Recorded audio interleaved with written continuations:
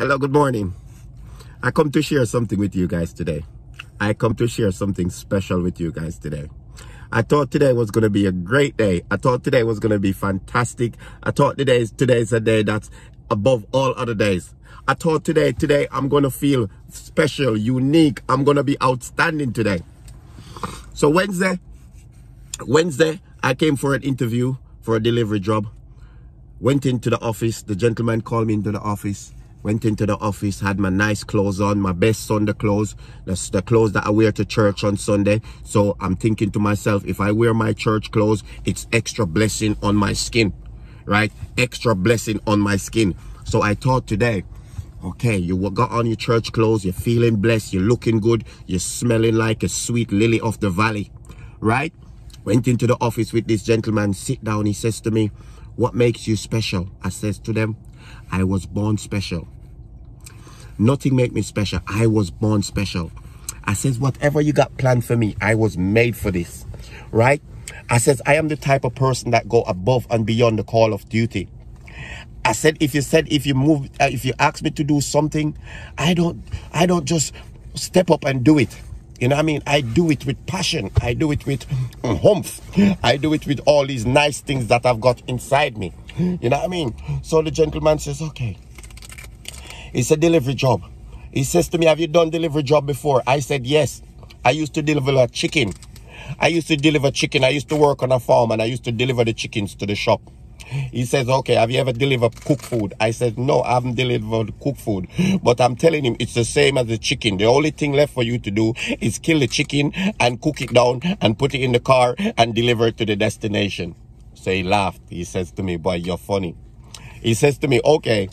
He says to me, what you going to do for me now, right? What you going to do for me? You're going to um see me. Today is Wednesday. I want you to take tomorrow off, which is which is Thursday, and then um take the rest of the day off because it's Friday. It's Wednesday morning now at um 10 o'clock. So I want you to go home, relax. Tomorrow is Thursday. I want you to take Thursday off as well. Come see me on Friday.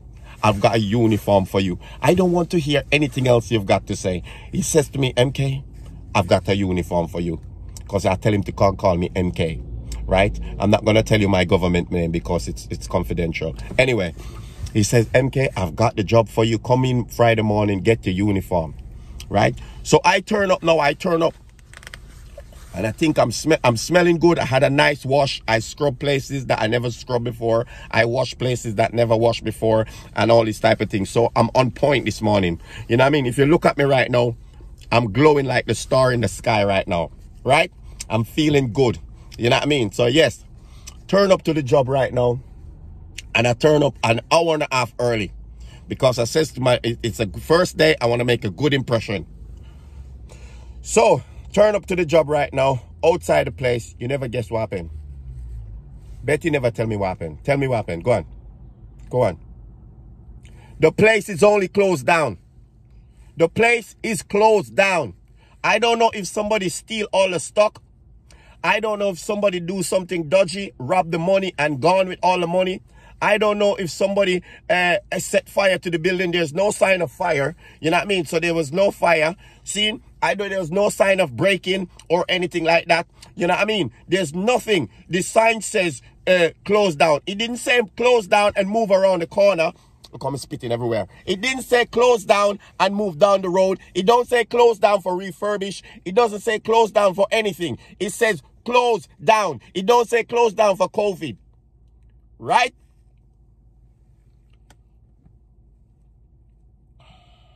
It says close down.